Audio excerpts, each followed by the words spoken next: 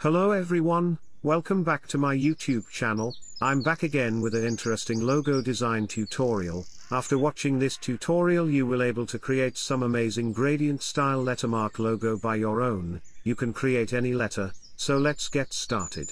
First, take the ellipse tool, and draw a circle in small size.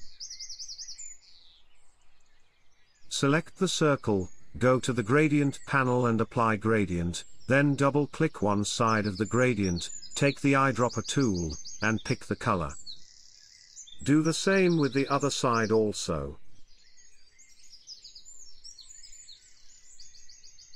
Now duplicate the circle and place it one side to another side. Select both circle, go to the object panel, blend, and click on make. Go to the object panel again, blend, blend options, specified steps, and set the steps 750.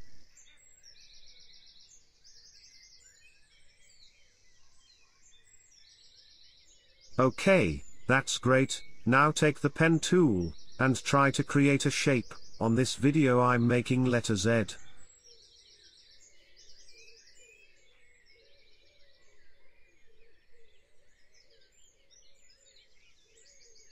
Now select both shape, go to the object panel, blend, and click on replace spine and see the magic.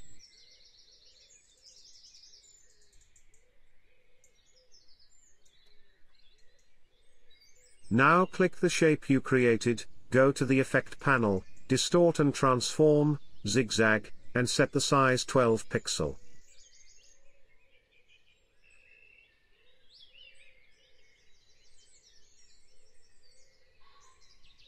Again go to the effect panel, distort and transform, pucker and bloat, and set that 2%.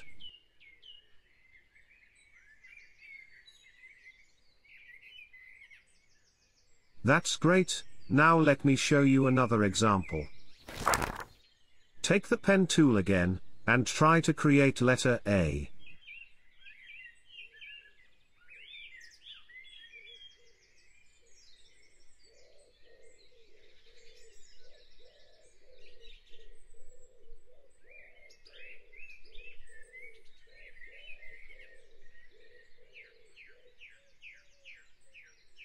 Select both shape, go to the object panel, blend, and click on replace spine.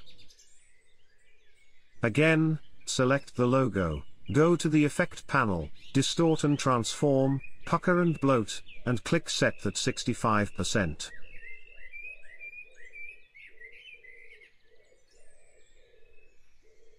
That's great, with this method you will be able to create any shape you want.